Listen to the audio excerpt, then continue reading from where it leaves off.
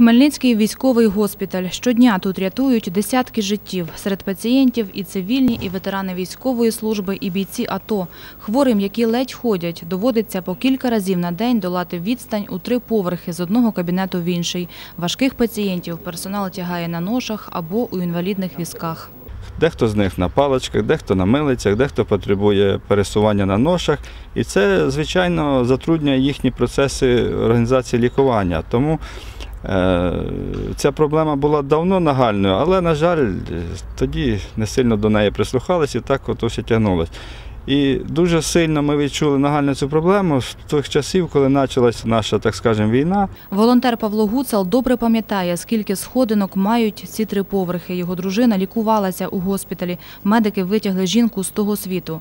Щодня Павло Омелянович з дружиною на власні очі бачили, як важко санітарам і як боляче пацієнтам долати цю відстань. І тоді з'явилась думка: а чому мене носять? Так мені соромно і плаче від цього.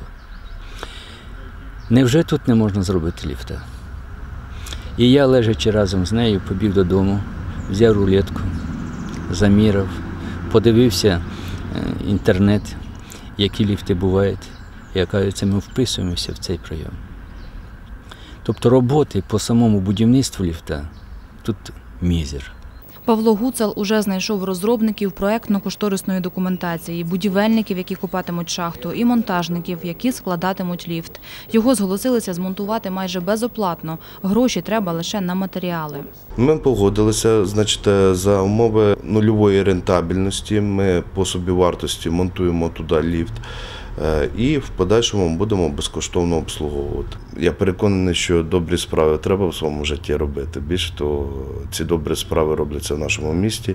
У госпіталі місце під ліфт уже є. Його розмістять тут, але треба викупити ще півметрову шахту. Він виглядатиме як оцей, але буде у четверо більший. На підприємстві, яке монтуватиме ліфт, переконують, що все зроблять красиво і якісно. Там будуть е, усі прилади безпеки, е, включаючи системи аварійного спуску, систему рекуперації, яка дозволяє заощадити е, велику кількість коштів на рік.